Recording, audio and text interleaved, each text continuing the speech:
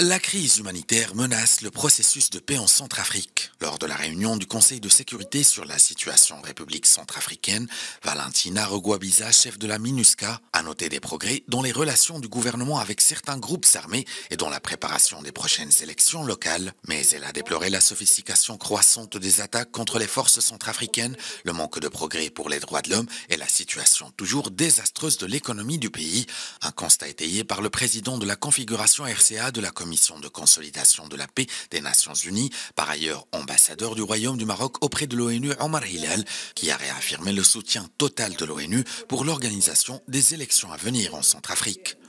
Malgré la persistance de nombreux défis, nous avons été témoins au cours de la période écoulée de développement positif, encourageant, des avancées sur lesquelles il faudrait capitaliser afin de soutenir et renforcer l'engagement des pays sur la voie du relèvement. Contexte centrafricain nécessite de ne point contourner nos manquements et nos erreurs qui ont compliqué la situation politique et sécuritaire en République centrafricaine pour mettre en place une opération qui aura pour objectif d'imposer, d'imposer pardon, la paix et la stabilité afin de rompre avec les problématiques de précarité et donc des violations des droits humains les nouvelles menaces exigent une préparation spécifique de tous les pays fournisseurs de contingents pour répondre de manière appropriée à la sophistication croissante des tactiques des groupes armés en utilisant tous les moyens à leur disposition, y compris les moyens aériens et les drones. Je ne saurais trop insister sur le fait que le pays se trouve à un moment critique de son histoire et qu'il aura besoin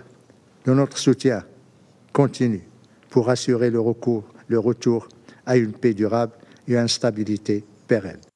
Pour la situation économique du pays demeure désastreuse, comme rapporté dans le communiqué du FMI du 26 janvier 2023, selon lequel la crise alimentaire qui faisait déjà rage dans le pays s'est aggravée après la guerre en Ukraine et nécessite un besoin immédiat d'aide humanitaire et de soutien budgétaire. D'autant plus que l'insécurité alimentaire aiguë dans le pays est l'une des plus élevées au monde en 2022. Elle devrait passer de 44 à 49% en 2023 selon le programme alimentaire mondial, alors que l'ONU estime que 56% des